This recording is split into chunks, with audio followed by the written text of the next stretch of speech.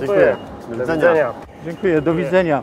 E, Panie Grzegorzu, jeszcze takie pytanie. Od pewnego czasu obserwowaliśmy tą naczepę, która manewruje, próbując prawdopodobnie wjechać na halę. Z czego wynika ten problem? Na naczepie zainstalowany jest system przenośników rolkowych zasilanych elektrycznie. I nawet doświadczeni kierowcy mają problem z precyzyjnym trafieniem w szybkozłącze, aby umożliwić zasilanie silników elektrycznych. E, Poszukujemy nowego rozwiązania. Może SEF zaproponuje system indukcyjny. Przyjmujemy wyzwanie.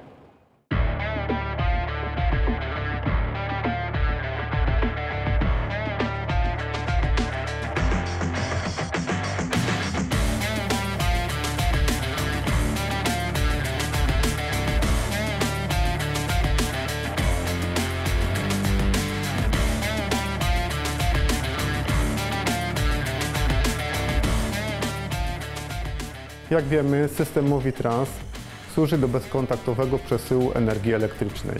Składa się z części stacjonarnej oraz części mobilnej.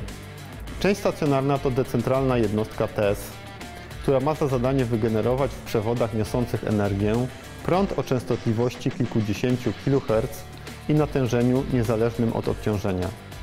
Moce jednostki TES to 8 i 16 kW, a przy pracy grupowej do 46 kW. Tyle mocy możemy dostarczyć w jednej pętli wykonanej z dedykowanego przewodu umieszczonego najczęściej w posadzce. Maksymalna długość jednostkowej pętli to 200 metrów.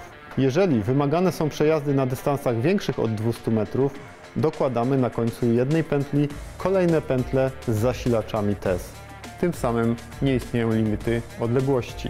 Na część mobilną składają się dwa urządzenia. Płyta odbiorcza THM umieszczona w odległości rzędu 20 mm od przewodów stacjonarnych pobiera z pętli energię na zasadzie indukcji elektromagnetycznej.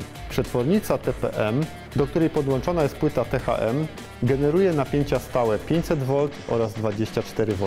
Napięcie 500 V DC służy do zasilania standardowych falowników SEF, a napięcie 24 V DC wykorzystywane jest do zasilania systemów sterowania oraz czujników. Moc części mobilnej modelujemy liczbą płyt odbiorczych THM oraz przetwornic TPM. W praktyce urządzenie mobilne typu wózek szynowy czy wózek HV wymagają mocy od kilkuset W do około 9, 9 kW. I takie wymagania nasz system indukcyjny spełnia. Sprawdźmy teraz, czy system MoviTrans moglibyśmy użyć do zasilenia przenośników na naczepie ciągnika siodłowego.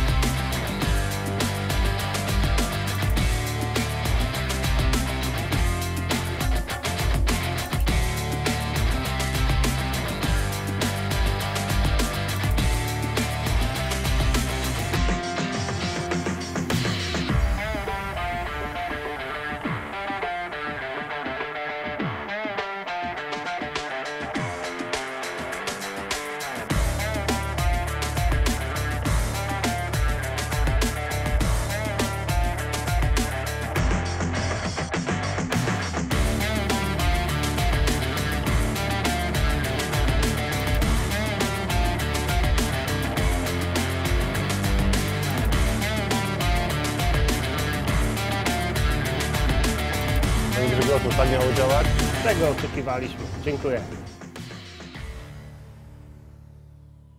Praktyka pokazuje, że najefektywniejsze innowacje to nowe zastosowania dla istniejących rozwiązań. Rewolucyjny system montażu Forda T nie został przecież wymyślony w przemyśle samochodowym, a tam właśnie odniósł najbardziej spektakularny sukces. Nazywam się Stanisław Nawracaj jestem dyrektorem działu rozwoju biznesu w firmie SEF Eurodrive Polska. Przedstawiona Państwu historia wydarzyła się naprawdę.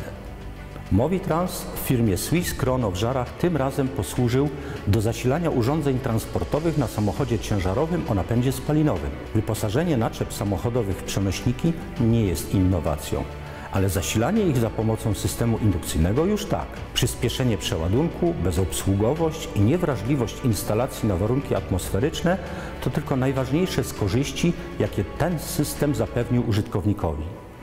Cieszymy się z kolejnego zastosowania zasilania indukcyjnego Movitrans i jesteśmy przekonani, że zostanie ono powielone w wielu podobnych aplikacjach.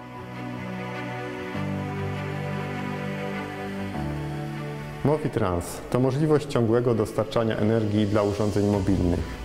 Brak ograniczeń prędkości, odporność na kurz i wilgoć, a co najważniejsze, całkowita bezobsługowość. Nazywam się Tomasz Matuszczyk, jestem kierownikiem działu techniczno-szkoleniowego SEF Eurodrive. Osobiście bardzo się cieszę z udanego wdrożenia tego nietypowego zastosowania systemu indukcyjnego przekazu energii. Dodatkową satysfakcję sprawia mi fakt, iż po raz kolejny zaufał nam nasz wieloletni klient, jakim jest Swiss Chrono. A zadanie realizowaliśmy wspólnie ze sprawdzonym partnerem biznesowym, firmą Promus. Movitrans to nie tylko zasilanie podłogowe, ale to już historia na kolejny scenariusz.